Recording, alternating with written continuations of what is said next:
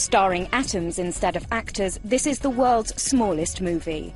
IBM researchers have manipulated atomic clusters to create the video, to show the potential for ever smaller modes of data storage. Each frame has been magnified 100 million times to make it visible to the human eye.